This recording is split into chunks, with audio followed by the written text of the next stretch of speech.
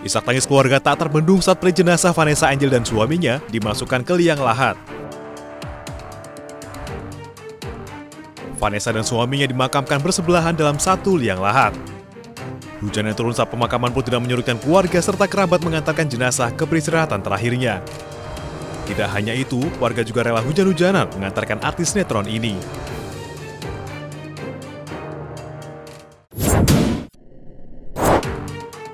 Dua korban selamat dalam kecelakaan maut yang menimpa Vanessa Angel masih dirawat di Rumah Sakit Bayangkara Polda Jawa Timur.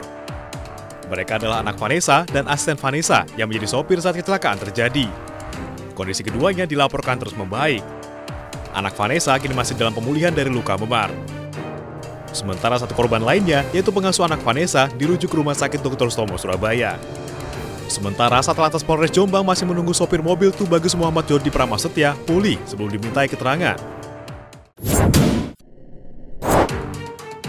Dua jenazah yang ditemukan siang tadi adalah seorang pria dewasa dan seorang anak perempuan. Keduanya ditemukan tersangkut di aliran sungai dan perkebunan warga. Jenazah kedua ditemukan berselang setengah jam dari jenazah pertama yang ditemukan. Kedua jenazah langsung dibawa ke rumah sakit Hasta Brata Batu untuk diidentifikasi. Hingga kini tersisa satu jenazah yang belum ditemukan. Dari 12 orang yang sempat dilaporkan hilang, tujuh di antaranya selamat, sementara empat lainnya meninggal. Gedung Madrasah Diniyah Takmiliyah Awaliyah Wasilatul Huda Sukabumi Jawa Barat hancur tertimpa longsor. Tiga ruang kelas rusak berat setelah tembok penahan tanah di Kampung Kadupugur, Desa Sukadamai longsor setelah diguyur hujan deras.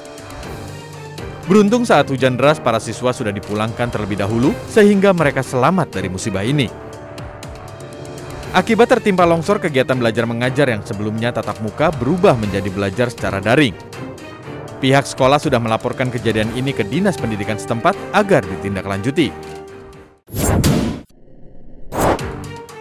Fitriani, wanita 45 tahun yang berprofesi sebagai guru ini ditemukan tewas di belakang rumahnya di Aceh Barat, Aceh.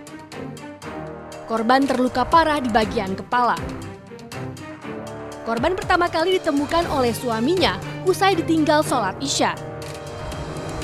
Jenazah korban kemudian langsung dievakuasi ke rumah sakit.